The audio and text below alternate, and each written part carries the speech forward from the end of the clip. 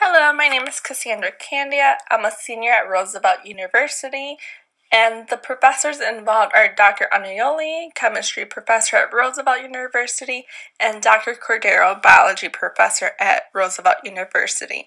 And today I'm going to explain to you the phytochemical extractions on medicinal plants.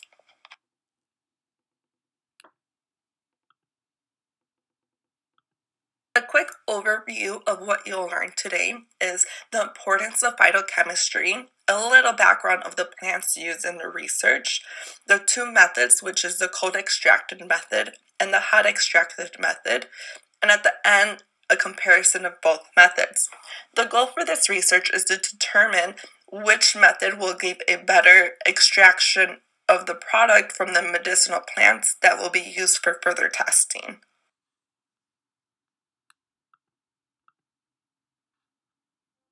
So, what is phytochemistry? Phytochemistry is the study of chemical compounds derived from plants. The word phyto in Greek means plant, and chemistry is the science of chemical elements and compounds. So you put the two together and you get phytochemistry. But why is it so important? Plants and herbs have been used in traditional medicine for many years to fix stomach bugs and so much more. Now that in modern medicine, it's been advanced to use to resist against fungi, bacteria, infections, even some cancers. So, with phytochemistry, you can produce new drug treatments in human diseases. It's natural compounds and it has nutrients. In my research, I used two plant materials that are within the same genus, meaning these plants are sister plants but have their own characteristics. The first plant is called Synsepalum scirifera, and the second one is called Synsepalum missulum. You can find both of them in the tropical West Africa area. Both of these plant samples were retrieved in Tanzania by Dr. Cordero, a professor in biology at Roosevelt University both have different characteristics, as in one is an anti inflammatory property and the other one has properties to treat wounds. The purpose of choosing two plants within the same family is to have a better analysis of the results from the experiments and to have less errors.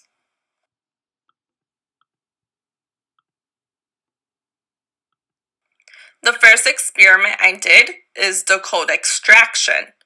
Let's look into it further. The materials I used for the cold extraction were both plant materials, a blender, filter paper, a flask, and a 1 to 1 ratio mixture of methanol and dichloromethane. The cold extraction process is very easy.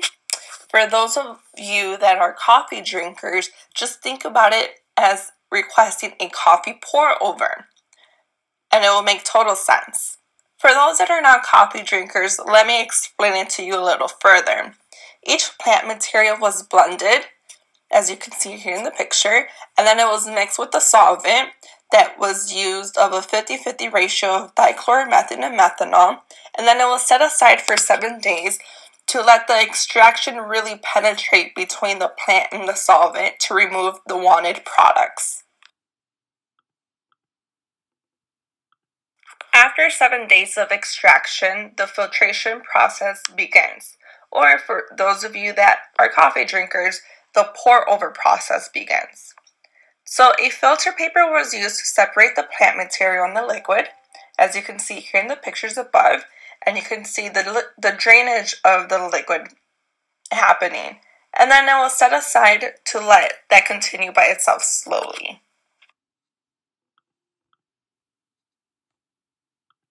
After the pour over process ended, or the filtration process ended, the liquid and the plant materials were then placed into bowls to dry, as you can see here on the left.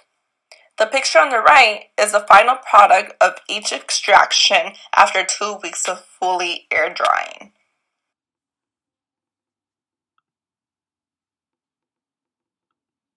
Now that the cold extraction was completed, let's move over to experiment two, the hot extraction.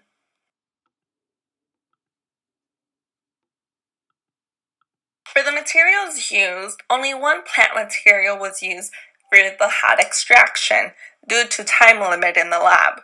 The other materials were a blender, a flask, the Soxhlet extractor, and five solvents being hexane, diethyl ether, dichloromethane, ethyl acetate, and methanol.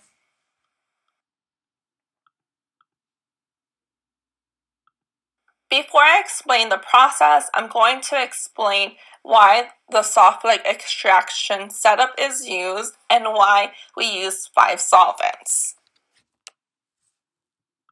The Soxhlet extractor is a technique used for hot extraction. As you can see here in the picture, in the bottom flask, it is being heated by a heating plate.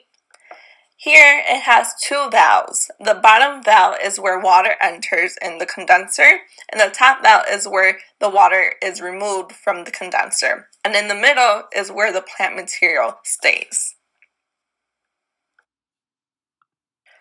During the hot extraction, five solvents were used, and these solvents go from nonpolar to polar.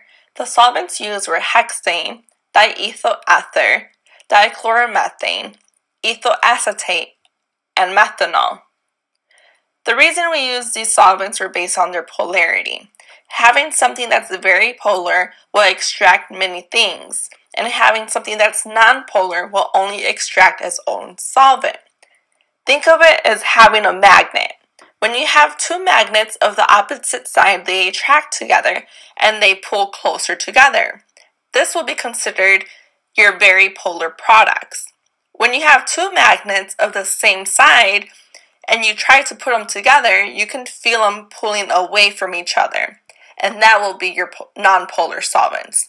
It's very important to use these solvents to see what we can extract from the plant material.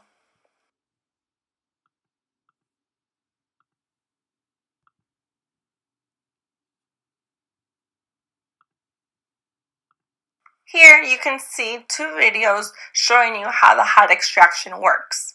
The hot extraction is run continuously. In the start of the hot extraction, you can see that the solvent methanol is extracting the plant material and giving a very dark green color, which is what we want because this means that the extraction is working. Once that the extraction is coming to an end, the solvent then starts to clear up as you can see in the second video.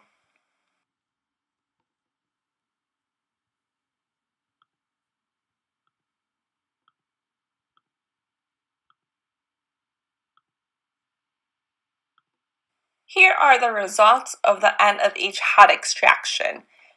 Each extraction of each solvent was ran between 1 to 4 hours. As we increase from nonpolar to polar, you can see here the differences of colors that were extracted from each solvent. You can see that the most polar solvent, the ethyl acetate, was able to remove much more product.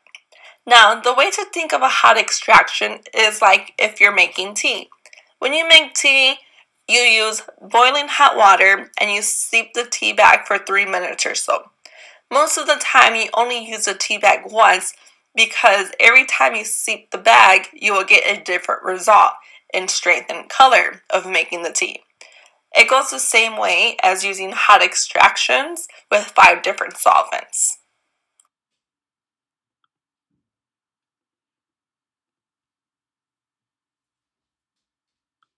Here are the results of the end of each hot extraction. After each extraction was completed, the product was air dried for about a week or until there wasn't any more liquid solution left. On the right, you can see the dried results of each product.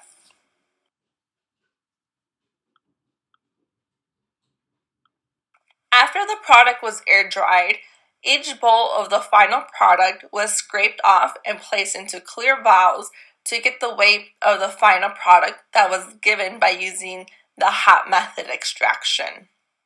Here in the picture to your right, you can see the little plant product that was retrieved from the hot method extraction.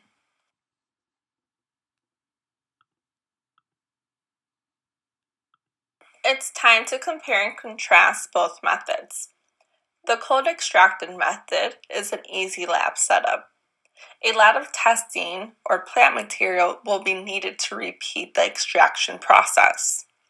The cold extraction can achieve a robust plant profile and a fuller product. The hot extraction, the Soxhlet adapter is needed, but one plant material can be used with many solvents at one time. The hot extraction has a higher range of extracting compounds from the plant.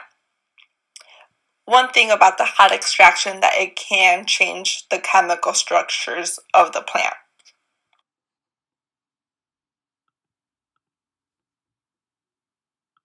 The conclusion. The results have concluded that using both the cold and hot extraction method can lead to great extraction of the products. It all depends on the preference of the research and what exactly the research entails. The cold extraction is more concentrated, and the hot extraction removes more compounds that allows to be tested further for the medicinal properties. The future goal is to continue the research and test each of the final product.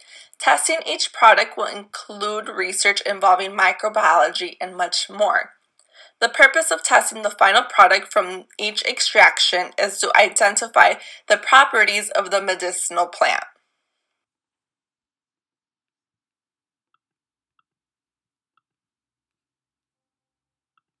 Thank you for watching, and special thank you to Dr. Cordero and Dr. Anna Jo for mentoring me in my independent research.